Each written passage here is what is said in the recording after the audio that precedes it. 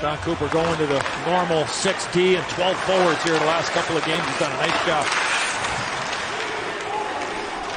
This chopped along and lifted back in can be brought back on by Perry. He's got Seguin around in front, but that one is walked aside by the goal stick of Vasilevskiy. It's Perry handing it on.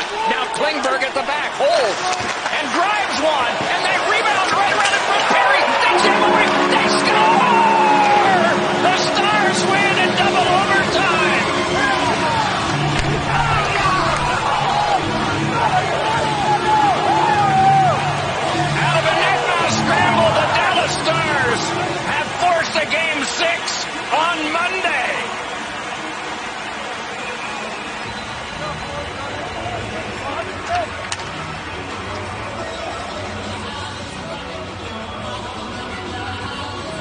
The entry with Seguin and Perry was very close.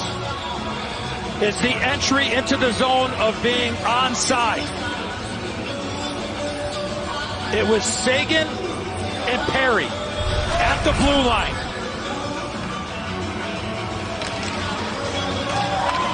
Looks like a good goal. It looked like the left skate was onside. That puck, yes. Oh yeah. Onside, good goal. Game six, Monday night right here on NBC. But John Klingberg made the play. He walked the line, shot the puck. Look at Corey Perry. Patience, waiting, waiting.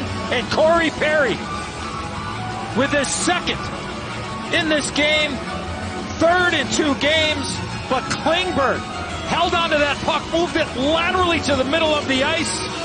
And the Dallas Stars, a gutsy performance here in game five. Give their team another opportunity to extend this series.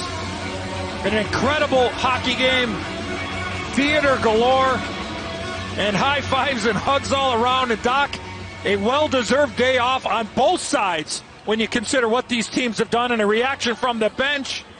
High fives all around. And can't wait for Monday night.